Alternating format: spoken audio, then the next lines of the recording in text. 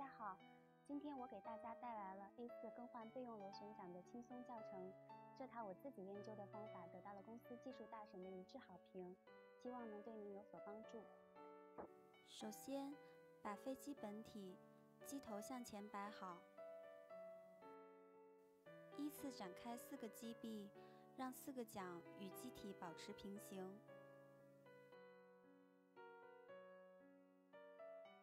需要注意四只桨向外一侧的桨头为直角哦，这样无论怎么摆也不会摆错的。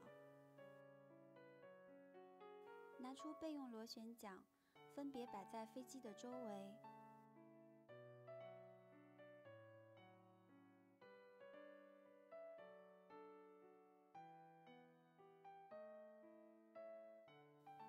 备用桨摆好之后，需要先把旧桨拆下来。方法也很简单，扶稳电机，按照桨上的解锁标志将螺旋桨旋转下来，然后借助较大的内六角扳手取下桨帽。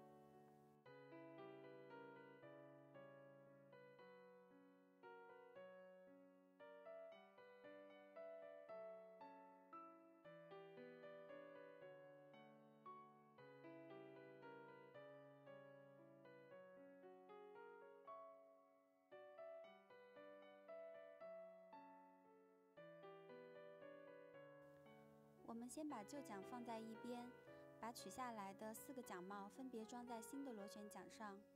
需要注意的是，带有银白色标志的桨帽需要和带有银白色标志的电机两两配对哦。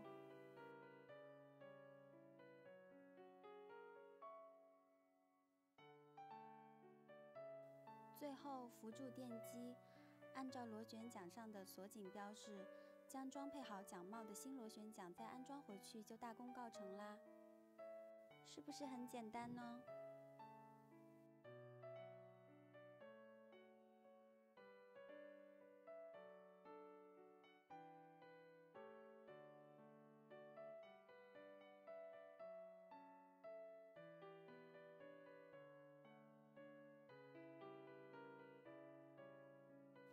吼吼！